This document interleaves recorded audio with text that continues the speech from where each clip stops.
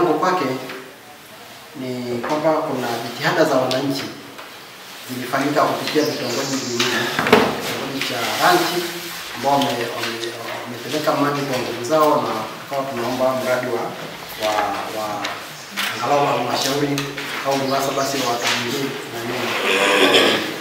Tenki kwa ajili ya kuvuna yale maji, lakini pia kuna kitongoji cha Nadosoito nao pia walivuta maji, naye pia ni shahidi kwa sababu ilizinduliwa na mkuu wa wilaya wakati huo, naye pia alikuwepo na aliahidi kwamba mbele ya wananchi kwamba watatujengea tenki la maji na kukusanya maji kule na Nadosoito. Sasa ni mwaka sasa unaenda watatu, inapika tu. Je, ni lini sasa RUWASA kutuangalia kwa jicho la tatu kwa ajili ya hayo? Asante sana.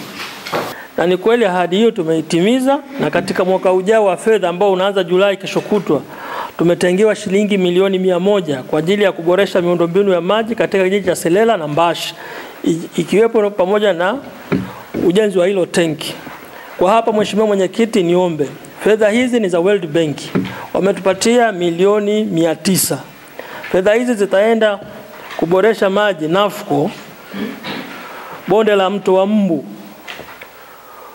alafu huko wapi wapi wapi huko niko sema Selena na Mbashi.